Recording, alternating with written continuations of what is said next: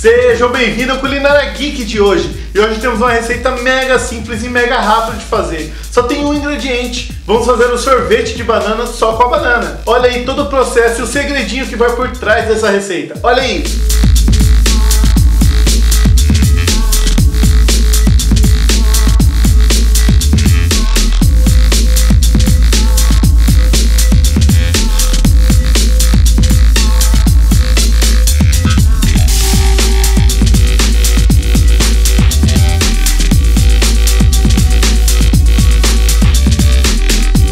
Bom pessoal, depois colocou no congelador, ó, olha como que ela sai super cremosa e só tem banana. Nesse caso aqui, a gente ainda colocou um chocolatinho no meio para ficar ainda mais gostoso. Mas se quiser comer só o sorvete com a banana, também dá.